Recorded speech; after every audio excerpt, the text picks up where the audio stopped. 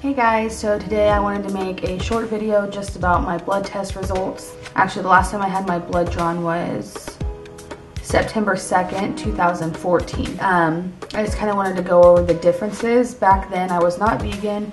I was eating a high processed meat, dairy, and my battery died. But anyways, I was eating a highly processed sad diet. Basically, was full of meat, cheese, dairy, sugar, just junk. Um, fast forward to when I got my blood drawn, I had just stopped drinking. So I did this current blood work February 23rd, 2016. So I stopped drinking February 9th. And I think I had been eating more of a whole foods plant-based diet um, probably two weeks prior to this blood being drawn. So keep in mind this is not like it's not great. because I was eating a bunch of crap still before the blood was drawn basically. I just want to get that point across that when you hear these numbers, you're not going to be like, oh, well, you're vegan and you still have like these numbers basically. I have had high cholesterol since um, I was 17. That was one of the first times they tested my cholesterol, so I don't even know how long I've had high cholesterol and I'm 27 now so it's been 10 years I've had very high cholesterol and every time I've had my blood drawn the doctors have just like been like oh you're too young to take drugs which I am thankful for because I would have never wanted to take cholesterol lowering drugs but at the same time I have had high cholesterol and I have been adding plaque to my arteries I'm sure for 10 years so that it like really scares me. So the way that I eat isn't just like because of the animals it's I mean, it is because of the animals. That's my one of my main reasons is ethical. But at the same time, like this is like life or death to me, and that's why I've been like I'm literally fighting for my life is how I look at it. So when I quit drinking and I try and eat better, it's because I want to have a happy, fulfilling life without sickness, and I know I'm just headed down the wrong path or I was headed down the wrong path. So finding veganism just because I wanted to lose weight and learning all this stuff has been part of my journey and I am in the beginning phases of finally eating a better diet and not just vegan because I have been vegan almost a year.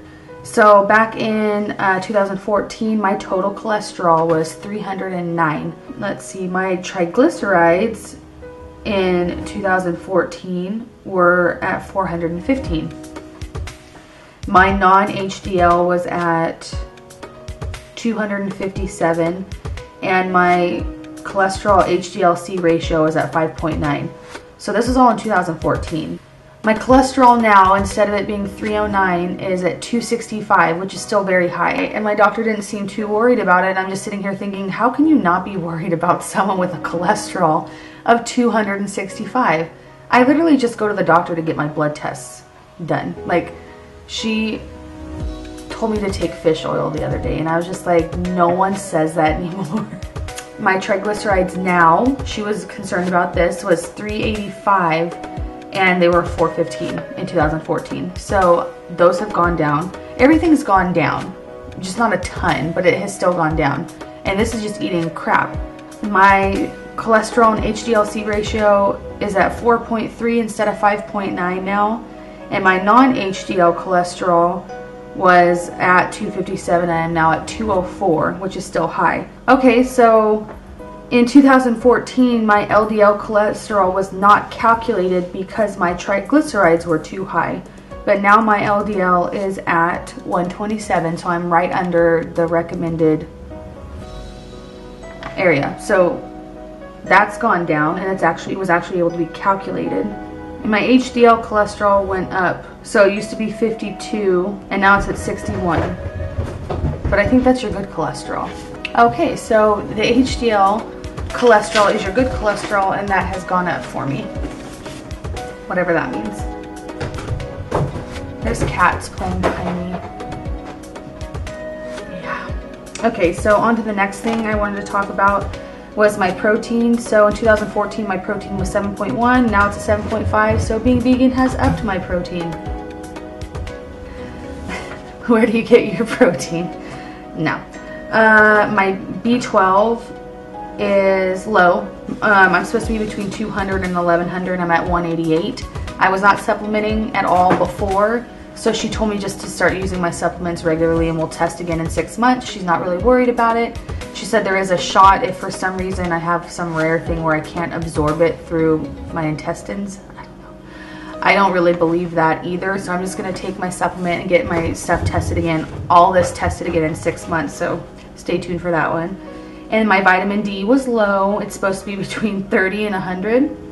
It's at 15. Again, I was not using it. Severus! Hi, babe. It's okay.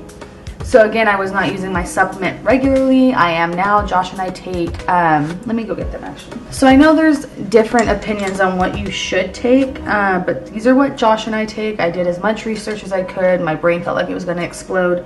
These are both vegan supplements. She prescribed me a D3 supplement from their pharmacy, but I'd have to pay 12 bucks for it, which isn't terrible. But I also don't know if it's vegan, and I wasn't gonna be like, let me see what's in it, or let me research it, blah, blah, because I already had my own. So I just bought another one because Josh and I actually needed more.